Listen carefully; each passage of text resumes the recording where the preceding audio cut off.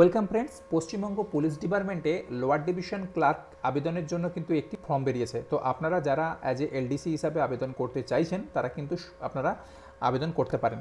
তো আপনারা কীভাবে অনলাইনে এই অফিসিয়াল নোটিফিকেশনটা ডাউনলোড করবেন? শিক্ষাগত যোগ্যতা কী লাগছে? কারা আবেদন করবেন? স্যালারি কত রয়েছে? কোথায় আপনাদের পোস্টিং হবে? তো ইত্যাদি নিয়ে আজকের কিন্তু পুরো কমপ্লিট ভিডিও তাই অবশ্যই কিন্তু ভিডিওটি প্রথম থেকে শেষ পর্যন্ত আপনারা দেখবেন। এছাড়া আপনাদেরকে আমি জানিয়ে দিই আট হাজার চারশো পনেরো জন কনস্টেবল নিয়োগের কিন্তু অলরেডি একটি বিজ্ঞপ্তি বেরিয়েছে এবং তার রিক্রুটমেন্ট কিন্তু মানে অনলাইন অ্যাপ্লিকেশন কিন্তু চলছে, তো অনলাইন যারা যারা অ্যাপ্লাই করতে চান, তারা কিন্তু অবশ্যই অনলাইন অ্যাপ্লাই আপনারা করে নেবেন। ইন্ডিয়ান আর্মির কিন্তু র্যালিরও একটি নোটিফিকেশন বেরিয়েছে, প্রত্যেকটার ভিডিওর লিঙ্ক কিন্তু ডিসক্রিপশন বক্সে দেওয়া থাকবে, আপনারা কিন্তু চেক করবেন। তো চলুন আমরা নোটিফিকেশনটাকে প্রথমে দেখে নিই। তো নোটিফিকেশনটা আপনারা এখান থেকে ডাউনলোড করতে হবে, তো সেটা আমি আপনাদেরকে শেষে দেখিয়ে দেবো।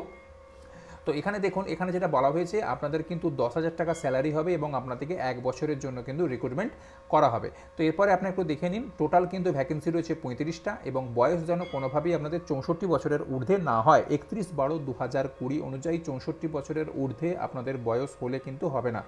পোস্টিং যেটা হবে সেটা হচ্ছে আপনাদের ভবানী বহন ভবানী ভবন এবং হচ্ছে নবান্ন। এই দুটো জায়গায় আপনাদের কিন্তু পোস্টিং হবে এবং আপনাকে কিন্তু দোসরা ডিসেম্বর দু হাজার কুড়ি বিকেল পাঁচটা তিরিশের মধ্যে আপনাদের অ্যাপ্লিকেশন ফর্মটা পৌঁছে দিতে হবে। আপনাদের সমস্ত ডকুমেন্ট সেলফ অ্যাটেস্টেড করে এবং কোন ঠিকানায় আপনারা পৌঁছাবেন সেটা হচ্ছে এখানে কিন্তু মেনশন করা রয়েছে। আপনারা একটু দেখে নেবেন। আলিপুর ভবানী ভবন, সাত লক্ষ সাতাশ বলে একটি অ্যাড্রেস দেওয়া রয়েছে। এই অ্যাড্রেসটা আপনাদের কিন্তু এখানের মধ্যে আপনাকে পৌঁছে দিতে হবে। তো এরপরে অ্যাপ্লিকেশন ফর্মটা আপনারা কীভাবে ফিল আপ করবেন সেটা একটু দেখে নিন।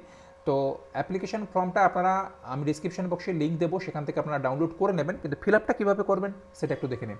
প্রথমে আপনাদের নাম, আপনাদের বাবার নাম, আর যদি মহিলা হন তাহলে ওনার হাজব্যান্ডের নাম, একটা ফটো দেবেন এখানে permanent address present address contact number আপনাদের মোবাইল নাম্বার এবং আপনাদের ইমেল অ্যাড্রেস দেবেন date of birth date of retirement আপনাদের হচ্ছে একত্রিশ বারো দু হাজার কুড়ি অনুযায়ী আপনাদের বয়স কত? চৌষট্টি বছরের ঊর্ধ্বে যদি হয়, তাহলে ফর্ম ফিল আপ করবেন না। পিপিও নাম্বার দেবেন। যারা রিটায়ার্ড পার্সন তারা জানেন ওনাদের পিপিও নাম্বার কী আছে।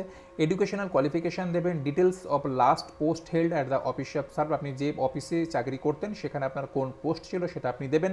আপনার যে স্যালারি স্ট্রাকচার অর্থাৎ বেসিক কত ছিল গ্রেড পে কত, আপনি ডিএ কত পেতেন এম এ কত পেতেন টোটাল গ্রস পে তাহলে কত হচ্ছে এটাই দেবেন। পেনশনের আপনার টোটাল বেসিক কত রয়েছে? ডিআর হচ্ছে আপনার হচ্ছে ডিআর কত রয়েছে এমআর কত রয়েছে এবং আপনাদের টোটাল গ্রস পেনশন কত রয়েছে এটা দেবেন। তো এটারই ডিটেলস ফর্মগুলো আপনারা এখানে ফিল আপ করে দেবেন। এছাড়াও আপনারা এখানে ডেট এবং সিগনেচার দিয়ে আপনারা নির্দিষ্ট ঠিকানায় কিন্তু আপনারা ফর্ম ফিল আপ আপনাদের ফর্মটা কিন্তু পাঠিয়ে দেবেন নির্দিষ্ট ডেটের মধ্যে। তো এই ছিল বন্ধুরা আজকে ছোট ভিডিও যদি আপনারা আবেদন করতে চান, অবশ্যই কিন্তু আপনারা আবেদন করতে পারেন এবং টোটাল রিক্রুটমেন্ট লিঙ্ক কিন্তু আমার ডিসক্রিপশন বক্স এবং সঙ্গে আই বটনে দেওয়া থাকবে, আপনারা চেক করে নেবেন। ভালো থাকুন, সুস্থ থাকুন।